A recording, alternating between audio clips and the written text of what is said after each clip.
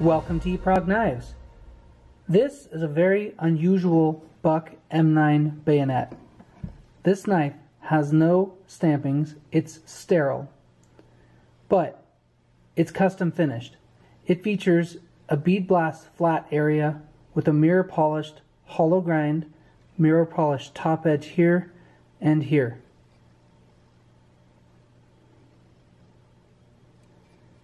The guard has the Phrobis Dolphin logo. The handle is olive drab Zytel.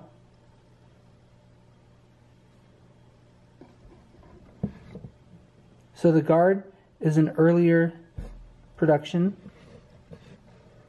The sheath as well is marked with the Phrobis Dolphin logo. This is a really cool knife. Very unusual. And this sheath was intended for this knife because inside this sheath there is no spring.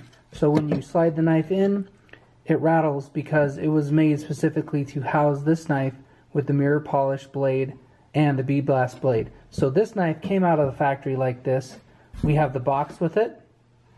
And just for example that other knives have been made like this before, I have this picture. This is an original photograph from the Buck archive signed by CJ Buck. This knife too is sterile with no markings. From what I can gather, this knife was made around 1990, maybe in the late 80s, early 90s.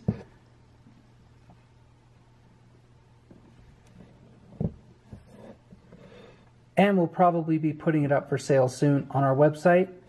If you like this video, give it a thumbs up, subscribe to our channel, and visit our website, epragueknives.com.